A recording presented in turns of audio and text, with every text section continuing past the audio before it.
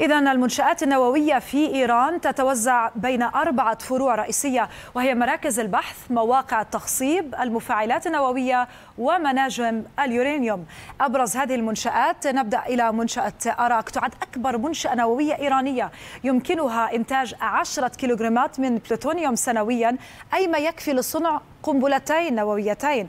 أيضا لدينا مفاعل أصفهان وهو يضم مجمع أصفهان لمفاعلات بحثية صغيرة وأيضا مركزا للتكنولوجيا النووية ومنشأة لتخصيب اليورانيوم نتعرف إلى مفاعل بوشهر هذه المرة وفي هذا المفاعل توجد محطة توليد كهربائي. هذه المحطة بقدرة 1000 ميجاوات هي أول محطة للطاقة النووية في إيران وافتتحت رسميا في عام 2011 نذهب معكم الآن إلى منشأة نطانز هذه المنشأة المعروفة لتخصيب اليورانيوم والتي تضم محطة لتخصيب الوقود وتمتد على مساحة 100 ألف كيلومتر مربع تحت الأرض. ولدى نطانز قدرة لتشغيل ما يصل إلى 50 ألف جهاز طرد مركزي. وتنتج في الأساس اليورانيوم منخفض التخصيب الذي يجري استخدامه لإنتاج الوقود بمحطة الطاقة النووية.